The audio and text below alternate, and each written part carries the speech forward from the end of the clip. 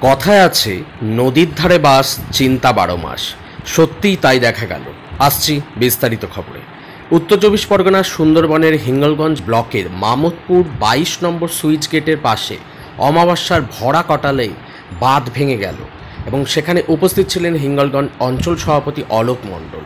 এদিন নদীর জল ছাপিয়ে বাঁধ ভাঙার মতো অবস্থা দেখা গেল সুন্দরবন অঞ্চলে।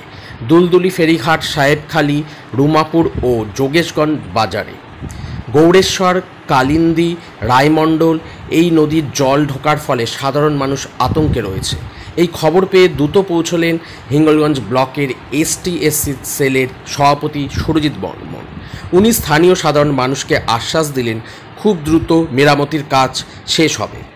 সাধারণ মানুষ তা শুনে খুশি।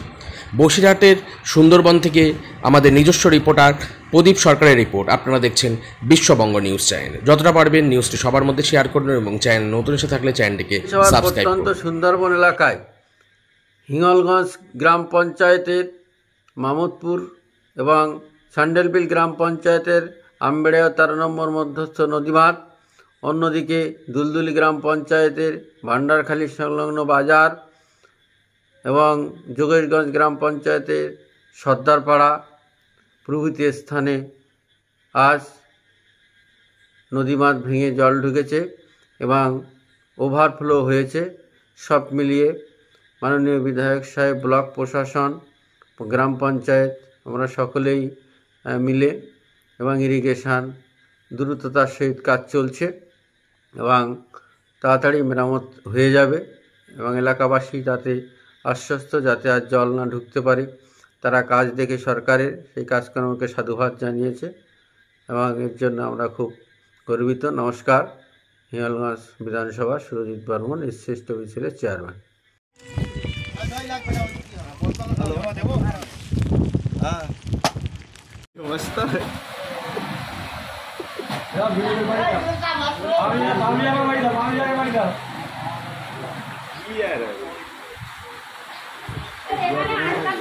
দুবার যাবে তো দুবার যাবে যা তো ওই দুবার যায় না না বিল বিল জল যাবে না বিল জল যাবে এটা খাওয়া হবে দুবার যাবে এবার তো খাই ওবার হয়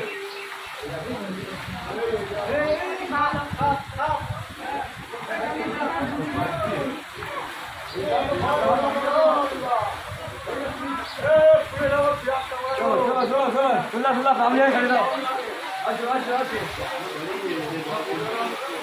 ভেঙে যাচ্ছে তা আপনারা কি করছেন?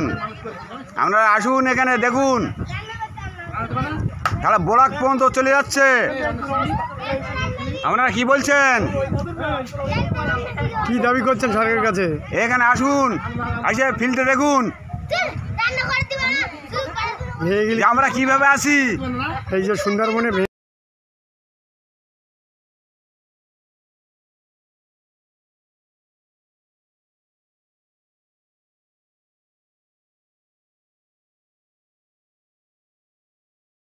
অঞ্চলের মামনপুর মৌজার বাইশ নম্বর সুইচ গেট সংলগ্ন গতবার যেখানে ভেঙেছে তার ঠিক সাইডই ভেঙেছে ভেঙেছে পঁচিশ ফুটের মতো।